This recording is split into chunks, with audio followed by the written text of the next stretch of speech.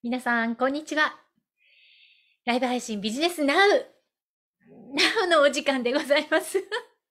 はい、今日もですね、皆さんに、えライブ配信の楽しさや、またライブ配信のビジネス活用、えー、最新の、えー、いろいろな便利なですね、手法など皆様に、えー、お伝えしてまいりたいと思います。え実は今日皆さん13時からですね、私、急遽、ちょっと大切な別件が、え一つ入りました関係から少し早めのお時間から始めさせていただいております。今日はお時間短いんですけれども、その分ですね、3倍の濃縮のモードで、え参りたいと思いますので、どうぞ今日もよろしくお願いいたします。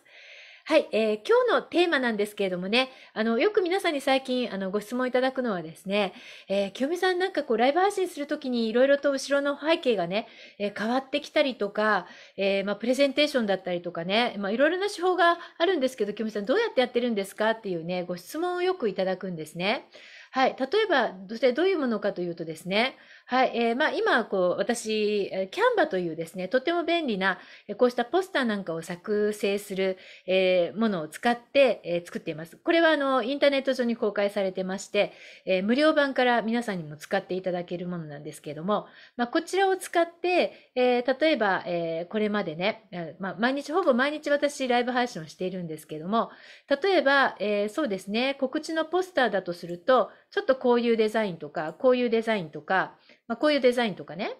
はい。毎日こうやって日替わりでこういったポスターをこう作っているわけなんですよね。はい。それで、まあ、こういったあのサミットするときはサミットのね、告知のためにこういうのを作ったりとかですね。はい。または、えっ、ー、と、通販のね、えー、インターネットでこのライブ配信をしながら通販するときは、こういったね、ジャパネット清美っていうね、スタジオセットを使ったり、また昨日もちょっとね、あの、テレビレポーターだった方のライブ中継があったんですけども、その時はこういったね、あの、テレビのえ中継のスタジオみたいなのを使ったり、またサミットを開催するときにはこういったね、サミットのえスタジオセットっていうのを背景にしたり、また私の住んでいるえオーストラリアゴールドコーストのね、え海岸線をこのようにしたりとかね。はい。まあ、いろいろな形で、まあ、こういったえものを使うことができるんですよね。で、これはまあ仮想背景といってですね、えどんな仕組みを使って作っているかというとですね、これすごくシンプルなんですけども、え皆さんも Zoom って聞いたことおありだと思うんですけども、まあ、Zoom という、まあ、インターネットの会議システムがありまして、で、このインターネットの Zoom も無料から使えるんですけれども、え有料版になるとですね、SNS と連携するボタンというのがついてきますね。で、私も Zoom の無料版ではなくて、有料版を使っているいくつか理由があるんですけども、それは例えば、えー、2人以上のセッションの時ね、グループセッションにするときに、無料版だと45分で複数の方たちが入る、えー、ライブっていうのはミーティングっていうのは切れちゃうんですよ、自動的に。もう無料版なので。でも有料版にすると、まあ、そういったグループでコンサルをしているときにも時間制限がなくね、えー、その会議ができるということとか、あともう一つ、この Zoom を私がメインで使っているのはですね、SNS との連携がとても簡単にできるんですね。ですので、今、あの、後ろの背景の方、動画で映っていますけれども、こういう感じで、あの、動画の背景を使いながら、えー、やることができたりとかですね。はい。それから、あと、まあ、この仕組みで大変便利なものを挙げるとすると、えー、共有をするときですよね。えー、画面を。その時にね、この共有画面を、え作るときにですね、はい。あ、ちょっとこれ全員共有にしとかないといけないですね。あ、昨日ちょっとアップデートしたのでね、ズームのちょっと動きがおかしいんですけども、はい。画面共有をするときにですね、えー、例えば通常の画面共有ということで、えー、画面を見せながら皆様になんか説明をしたいなという時がありますよね。はい。例えば今私がお話しした作図をするキャンバはここですよ。はい、じゃあこのページ開いてください。じゃあここから作図してきますよっていうことで、まあ、その対象のページに飛んでですね、えー、じゃあ今デザイン、どんなのデザインしたのか、ここ見てくださいね、みたいなね。で今日こちらの作図をしましたけれども、はい、こんな感じで作りましたよ。ひな形から。はい。じゃあ、ここのお写真をね、入れ替えていきましょう、みたいな感じでね、例えばこうやってみますけども、アップロードしたお写真から、はい、じゃあ違うのを使ってみましょうかね。じゃあこちらの写真にね、入れ替えたりとかね。まあこういう作業をするときに言葉で説明するよりも、実際にこの画面を映し出してお見せした方が分かりやすいですよね。まあこういったあのキューティション、えー、皆様に、えー、こうした講座でご指導させていただくときにこういった画面共有を使ったりすると便利なんですけどもね。はい。その他、もっと違う形で、え皆さんが、まあ、これからですね、オンラインの、えー、お講座や、また、もうちょっと大きなステージで、サミット、ね、最近オンラインのサミットって非常に盛んになっていますけども、まあ、そうしたサミットなんかにね、登壇するというような機会を、えー、得たときにですね、えー、まあ、そこで皆さんに見てくださっている方に、えー、とっても効果的にプレゼンをしていくときに、えー、こういう感じでですね、パワーポイントの、えスライドをですね、このライブ配信の中で、まあ、効果的にね、皆さんにお見せすることができるわけです。例えばこれあの、えプレゼンを作ったんですけど、こう皆さんがお好きなところにね、お好きな大きさの形で入っていてですね、皆さんのプレゼンの中にですね、はい。で、こんな感じですね、プレゼンをすることができるというね。はい。で、こんな感じでお顔がいろんなところにね、こう移動していくってことですね。はい。で、大きさも自由にできるっていうことなんですけども、まあ、これあの、 Zoom の中の機能で私が大変気に入っている機能の一つなんですけども、はい。こんな感じで、えー、まあ、プレゼンをしたりすることができるわけなんですけども、まあ、こういったものをですね、えー、 Zoom で、えー、共有しながら、えー、するとですね、まあ、視覚効果的に動画のさ、えー、動画のえー、画面が出てきたり、またあのプレゼンテーションが出てきたりということで、まあ、とっても楽しい、えー、絵を作り出すことができるわけなんですね。はい。で、この Zoom という仕組みなんですけど、ちょっと後ろ動画なのでね、静止画像に変えたいと思います。少々お待ちくださいね。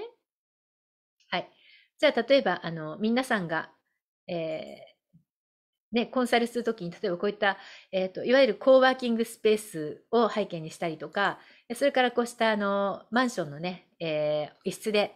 ね、えー、コンサルをしたりとかね、えー、することできるわけなんですけども、じゃあ、まあ、ちょっとこう絵はね、これで固定しましょうね。それで、まあ、こういった感じで仮想背景とかを使うと、え皆さんのお家の中が、例えば生活感のある、えー、後ろに洗濯物が映ってるとか、えー、そういう風景ではなくて、えー、本当にこういったあの、なんでしょうね。これモデルルームなんですけど、モデルルームみたいな、えー、こういった感じのお部屋をいくらでもこの画面の中で、えー、作り出すことができるわけなんですよね。だから皆さんが、えー、先ほど申し上げたように、えインターネットのライブ配信から、まあ、物販という形で、この皆さんが、えこのライブ配信の中で皆さんの商品とかサービスっていうのをね、販売していきたいときには、やっぱりそれに見合った感じの、こうしたね、えジャパネット、高田のような、まあ、これはあの静止画像ですけど、これをま動画にすることもできるわけですよね。はい。まあ、こんな感じでお好きな仮想背景を使うためには、やっぱりこの Zoom という仕組みがあの大変便利なんですね。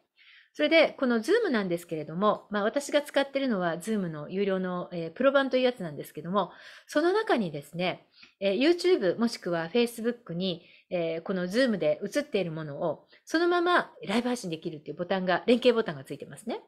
はい。で、これはあの、ズームの場合はね、どちらか一箇所にはなってしまうんですけども、それ以外に、えー、例えば、あの、特別なキーを入力することによってですね、もっと違うメディアで、えー、このライブ配信、 Zoom のライブ配信を、ライブ配信をこのように、えー、生放送することができるということで、大変便利な仕組みになっています。で、その他にですね、例えば、あの、他のゲストを呼んで、ここでインタビューしたりとか、またグループでセッションしているもの、それを公開番組で、え皆さんの Facebook とか YouTube でね、ライブ配信したいときにも、この Zoom の仕組みというのが大変便利なんですね。はい、えー、ハリオさんね、早速見せ、見ていただいてありがとうございます。えー、今日はお昼はパスタなんですね。はい、えー、うちは今日はね、あの、昼間からね、お鍋をやっております。はい。えー、ということで、今日はあの、ね、えー、13時からの予定だったんですが、えー、ちょっと抜き差しにならないね、えー、大切なミーティングが入りました関係で、ちょっと早めにお時間始めさせていただいておりました。はい、えー、13時にね、合わせてきた方は、もうちょっと今日のライブ配信終わってしまっているところになってしまうと思うんですけども、はい、短いながらもね、皆さんがこのライブ配信を楽しんで使っていただいたり、これから皆さんがビジネスに活用していくときに、ぜひ、えー、この Zoom をね、えー、活用して、皆さんのこのライブ配信を楽しい、えー、視覚効果でね、使っていただけたらいいなというふうに思います。はい、えー、それからお知らせなんですけれども、えー、明日、明日、明後日はまだこの13時のお時間なんですけれども、えー、来週ですね、えー、19日からこのライブ配信ビジネスナウのレギュラー配信時間というのがちょっと変更になるんですね。はい。あの、13時から私ね、急にあの、大切な会議が入ることが多くなってしまいまして、えー、まあ、今日みたいに短縮版にしなくてはいけなくなってしまったりということがちょっと続きましたので、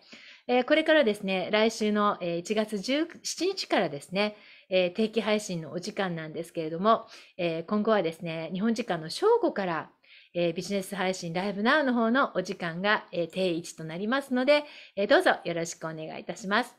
はい、えそして今日もですね、皆様に、はい、2022年度バージョンの、えメールマガジンのね、ご案内をさせていただこうと思います。